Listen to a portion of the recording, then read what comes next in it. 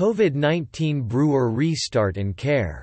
For Flavia Creation 400, 500, and Barista. For restarting your Creation 400, 500, and Barista.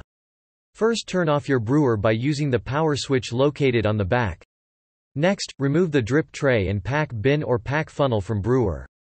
Remove the plastic circular cap on the inside left of the pack bin compartment. Pull out the cold tank drain tube, pull the drain tube cap, and drain water into the pack bin until the cold tank is drained completely.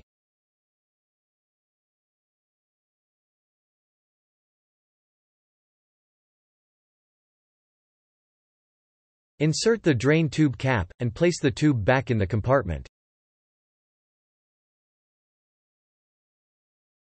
Replace the circular plastic cap on the left side of the pack bin compartment.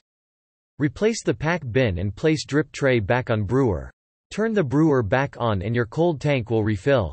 If your brewer is set up as a pour-over unit you will need to refill the cold tank through the fill lid. Place a 10-ounce cup on the drip tray and press and hold the hot water dispense button to dispense a cup of hot water. Dispose of the hot water and repeat this step a total of three times. To be sure your brewer is thoroughly cleaned, use sanitizing wipes to clean commonly touched surfaces. Such as the fill lid, screen, buttons, pack door, pack bin, and drip tray.